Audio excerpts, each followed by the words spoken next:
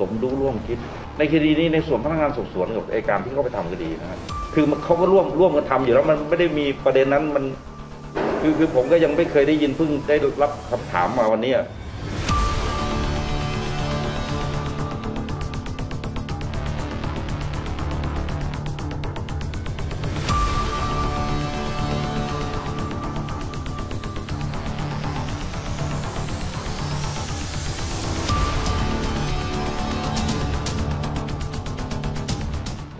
ดีนี้ก็เริ่มต้นมาตั้งแต่วันที่ 26 ตุลานะครับ ซึ่งท่านผู้จัดการนครบาลและพร้อมกำลังก็ไปตรวจค้นผ่านที่หลินนะครับ แล้วก็ในวันนั้นก็มีการจับกลุ่มนะครับ คดีร่วมกันจำหน่าย แล้วก็มีผู้เสพจำนวนมาก ซึ่งเราได้ไปตรวจยืนยันผลแล้วปรากฏว่าพบผู้เสพจำนวน 70 กว่าคน ซึ่งวันนั้นหลังจากวันนั้นแล้วเนี่ยเราก็ได้มาสืบสวนขยายผล จนทราบว่าเป็นเครือข่ายนายตู้ห่าวกับพวกนะครับ ซึ่ง ตั้งแต่วันที่ 26 ตุลาเนี่ยเราสามารถ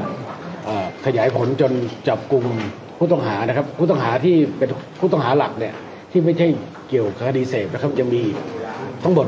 43 รายนะครับ แบ่งเป็นผู้ต้องหาที่เป็น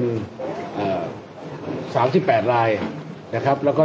จับกลุ่มได้ 20 รายนะครับ อยู่ระหว่างการติดตามจับกลุ่มอีก 18 ราย เป็นนิติบุคคลนะครับเป็นบริษัทอีก 5 รายนะครับ รวมทั้งหมด 43 รายนะครับ ซึ่งณตอนนี้นะครับเราก็ได้วันนี้ถือว่าเป็นการส่งมอบสำนวนแล้วซึ่งผมได้ลงนามไปเมื่อคืนนะครับวันนี้ก็เป็นวันที่ 13 นะครับ เราได้ส่งมอบสำนวนให้ทางท่านในที่ดีอัยการยาเสพติดนะครับ ซึ่งเป็นตัวแทนของทางอัยการสูงสุดนะครับ คดีนี้ก็ถือว่าท่านอัยการสูงสุดได้พิจารณาแล้วเข้าข่ายเป็นคดีองค์กรอาชญากรรมข้ามชาติ เป็นคดีนอกราชนะครับ ท่านได้มี มอบหมายนะครับ ซึ่งเป็นท่านเป็นผู้รับผิดชอบในคดีนี้นะครับ ท่านมอบหมายให้ผมเป็นพนักงานสอบสวนผู้รับผิดชอบ ร่วมกับทีมอัยการของท่านนะครับ ซึ่งเราร่วมกันตั้งแต่วันที่ 16 ธันวาที่ผ่านมานะครับ มีพนักงานสอบสวนของตำรวจก็มีอยู่ 4 กองบัญชาการก็คือกองบัญชาการตำรวจนครบาลกองบัญชาการตำรวจสอบสวนกลางกองบัญชาการสืบสวนสอบสวนอาชญากรรมทางเทคโนโลยี และกองบัญชาการยาเสพติดนะครับ ซึ่งเราได้ร่วมกันทำงานจน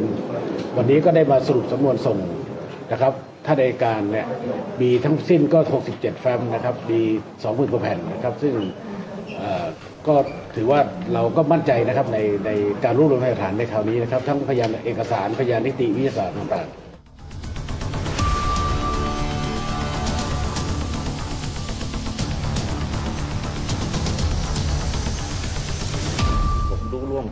ในคดีนี้ในส่วนพนักงานสอบสวนกับอัยการที่เขาไปทำคดีนะครับคือมันเขาก็ร่วมร่วมกันทำอยู่แล้วมันไม่ได้มีประเด็นนั้นมัน คือคือผมก็ยังไม่เคยได้ยินเพิ่งได้รับคำถามมาวันเนี้ยได้ยินจากคำถามวันนี้ว่า คือที่พูดถึงนี่หมายถึงกลุ่มที่ทำการสอบสวนคดีนี้หรือ หรือส่วนอื่นครับหมายถึงชุดทำงานระยะนี้อะค่ะอ๋อไม่มีครับผมรับรับรองผมผมไม่เคยเจอใครเลยกลุ่มผู้ต้องหาที่มามาไม่มีครับ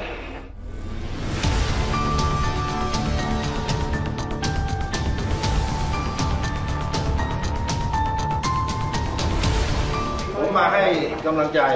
ครับไม่มีคำถามอื่นใดครับครับ ผมคิดว่าในนามประชาชนอย่างผมเป็นตัวแทน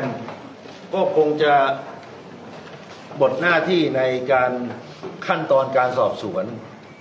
ทางตำรวจและทางอายการ ก็ได้ดำเนินการมาถึงจุดที่สิ้นสุดนำไปสู่กระบวนการของศาลย่อมมีการต่อสู้ทางกฎหมาย ซึ่งเป็นเรื่องปกติ เออคดีนี้ มีการต่อสู้ในช่วงสอบสวนค่อนข้างจะมาก ผมในนามประชาชน ผมก็ขอให้กำลังใจท่านผอบอตรท่านอธิบดีอายการ แน่นอนครับบางอย่างผมคงจะมีการก้าวล่วงไปบ้าง ถ้ามีผมก็ต้องขออภัย แต่อย่างไรก็ดี ผมทำในนามประชาชนไม่ได้มีผลประโยชน์อื่นใดแอบแฝงที่เมื่อกี้ผู้สื่อข่าวถามจริง ๆ น่าจะ ผมน่าจะตอบ เพราะท่านคงตอบว่าไม่มี ส่วนผมก็ยืนยันว่าไม่มี เพราะท่านเป็นผู้นำองค์กรสูงสุดของผู้บังคับใช้กฎหมาย เป็นผบตรอีกท่านหนึ่งเป็นถึงอธิบดีอายการ ขั้นตอนนี้อยากจะเรียนให้ผู้สื่อข่าวทราบว่าในเรื่องของการสอบสวนก็คงจะจบแล้ว เราคงต้องไปต่อสู้ในกระบวนการของศาล ทางอายการสูงสุดก็มีคณะในการพิจารณา ผมคิดว่าวันที่ 20 หลังวันที่ 20 นี้ ประชาชนอย่างผมก็คงยังไม่ยอมแพ้ ผมก็คงจะต้องจับตาดูต่อไป จนกระทั่งคดีนี้ ผมคาดคิดว่าคงจะไปถึงศาลฎีกา แต่อย่างไรก็ดีในนามประชาชน ผมขอกราบขอบพระคุณท่านผบตรท่านอธิบดีและก็ทีมงานพนักงานทุกท่านที่ได้กระทำการสมหน้าที่ ส่วนเรื่องอื่นๆเรื่องเล็ก ๆ น้อยๆวันนี้ผมคงไม่เอามาถามท่านให้แต่กำลังใจครับผม